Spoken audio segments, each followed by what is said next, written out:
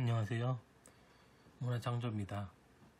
사업관리 첫 번째 품질 보증 계획의 보완에 대해서 말씀드리겠습니다.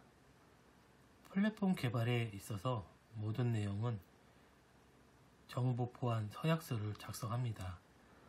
전체 뭐 사업 관련된 이것도 사업 비즈니스이기 때문에 플랫폼에 들어가는 어, 개발자, 뭐 PM, PL 모든 인원들은 정보 보안 서약서를 작성해서 어떤 외부 유출이든 중간에 어떤 기업 비밀이든 누설이 되지 않게끔 이 서약서를 작성을 합니다.